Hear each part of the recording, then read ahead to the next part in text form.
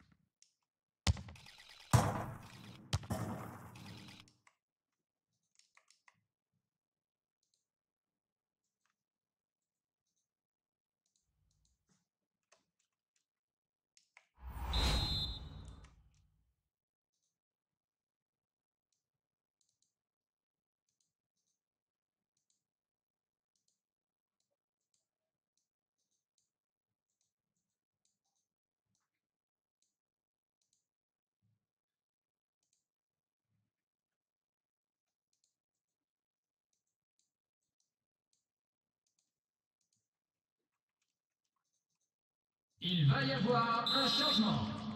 Et c'est un but pour Barcelone.